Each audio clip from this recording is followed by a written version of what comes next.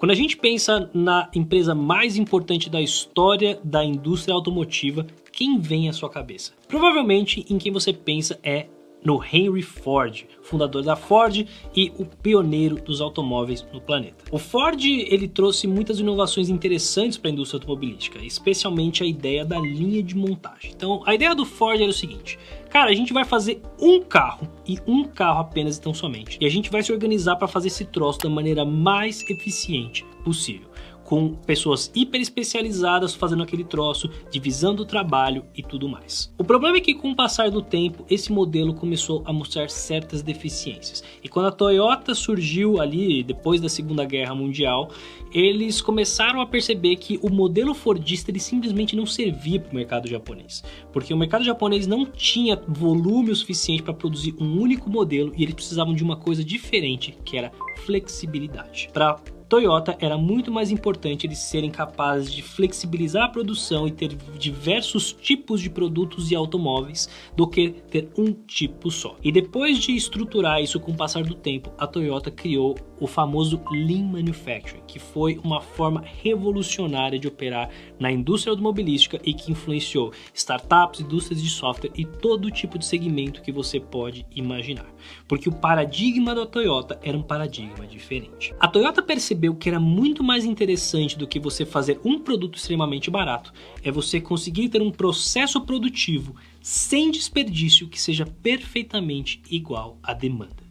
E é com base nessa premissa simples e aparentemente tosca que a Toyota simplesmente transformou não só o mercado automobilístico, como todo o resto do planeta. E não se engane, o modelo da Toyota ele não é só bonitinho na fala, ele também é bonitinho nos números. Antes da Tesla aparecer, a Toyota valia mais do que simplesmente todas as montadoras do planeta combinadas.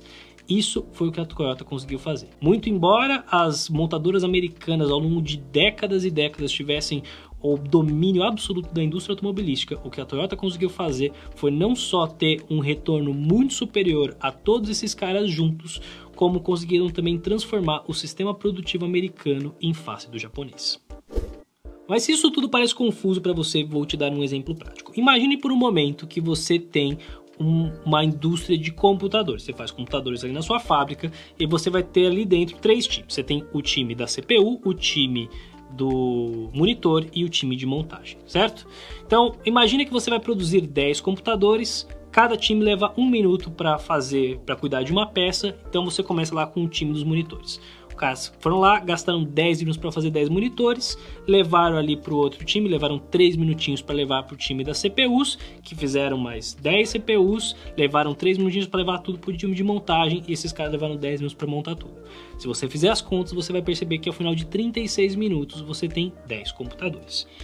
E o problema é que essa lógica de lotes, em você vai ter times especializados em que vão pensar na unidade econômica do computador e tudo mais, é uma lógica fordista de trabalhar. A Toyota não opera sob essa lógica.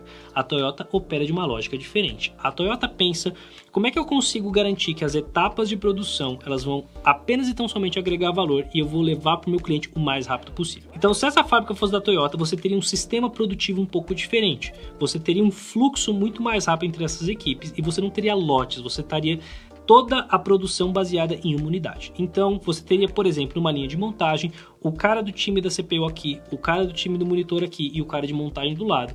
Cada um gastando um minutinho e você tendo um computador por vez saindo. Esses computadores vão para logística e assim eles vão para entrega. Essa é a, a, ideia básica. Então, ao invés de você gastar 36 minutos, como você gastou no modelo Fordista, aqui na Toyota você gastou apenas 12 minutos para fazer a mesma coisa. Onde foram parar os outros 24 minutos? Os outros 24 minutos estão nos 7 desperdícios que tem no modelo Fordista. O primeiro desses desperdícios é de superprodução. Se você produz além da demanda, você tem um monte de estoque. Estoque é custo, é dinheiro parado, é dinheiro desperdiçado e numa crise econômica pode ser o fim de uma empresa. A Toyota opera com a ideia de você minimizar isso ao máximo. Desperdício número 2, espera. Toda vez que você tem uma pessoa esperando por outra, você tem um desperdício. E a Toyota se organiza de uma forma a garantir uniformidade e a menor variância possível para que você não tenha pessoas ociosas no processo produtivo e com isso minimizar esse desperdício que é tão comum de acontecer não só em indústrias, mas no mundo corporativo como um todo. Desperdício 3, transporte desnecessário. Você ter que deslocar materiais de um lado para o outro é um desperdício. As fábricas da Toyota, elas se organizam de forma a minimizar transporte. Se a gente for fazer um paralelo com o mundo corporativo, é um pouco do lance da automação. Se você consegue automatizar alguma coisa e garantir que uma coisa vai do ponto A ao ponto B instantaneamente, é uma forma de você eliminar esse desperdício. Número 4, processamento desnecessário. Muitas vezes você tem processos que existem simplesmente porque existem que não agregam valor nenhum para o cliente final. Esses processos são desnecessários. Eles precisam ser eliminados e a Toyota busca sempre como é que a gente consegue extirpar processos que não agregam valor para manter apenas e tão somente aqueles que geram valor para o cliente. Número 5, estoque excessivo. Muito a ver com a superprodução, o estoque excessivo também ocorre dentro das etapas, o famoso WIP, como se usa dentro da parte de operações. Você tem muitas vezes um estoque excessivo entre as etapas para garantir que não vai ter gargalos e problemas de abastecimento. A ideia da Toyota é sempre minimizar esse estoque, que sim gera uma certa instabilidade sistêmica na linha de produção, mas que é um recurso que é muitas vezes desperdiçado ao longo da cadeia.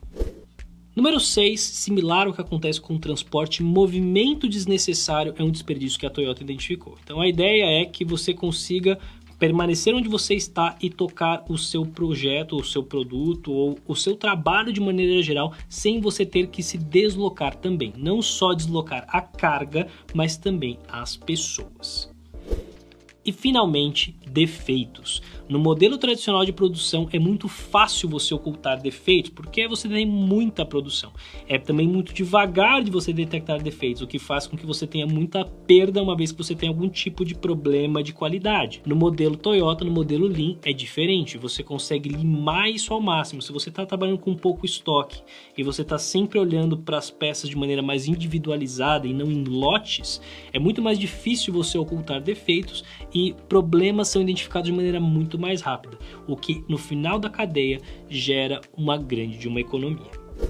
É claro que o Lean Manufacturing é estruturado pensado na indústria, mas os princípios da metodologia da Toyota eles são muito úteis para a gente pensar em como agregar mais valor, seja em produtos, seja em serviços a parte de serviços pode se valer muito da metodologia Lean, porque ela permite que você elimine processos desnecessários e foque na entrega de valor de maneira muito mais rápida para o seu cliente.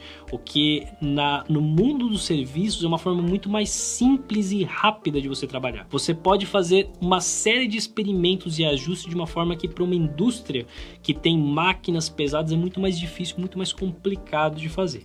Então, se você hoje trabalha com serviços de qualquer maneira, aqui existe uma oportunidade incrível de você se diferenciar no mercado.